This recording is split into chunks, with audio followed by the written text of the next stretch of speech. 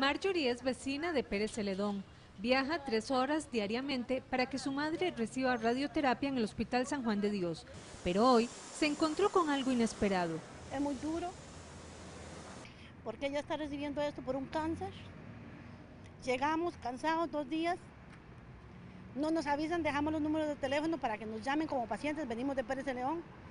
Llegamos acá y, y nos dicen que la máquina simplemente no sirve. La máquina de radioterapia encargada de disminuir el dolor a causa de cáncer del San Juan de Dios está dañada. 40 pacientes tuvieron que devolverse a hospitales lejanos o hasta su casa sin recibir el tratamiento. Según el doctor Resino, jefe de radioterapia, la máquina estaría trabajando la tarde de este miércoles, pero los pacientes sienten algo más que impotencia. Tratamos de que le den a ella lo mejor.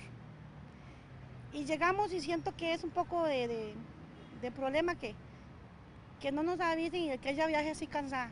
Las autoridades aseguran que lo que sucedió es parte del mantenimiento de esta unidad. El jefe de radioterapia afirma que este jueves los pacientes podrán recibir su tratamiento sin ningún inconveniente.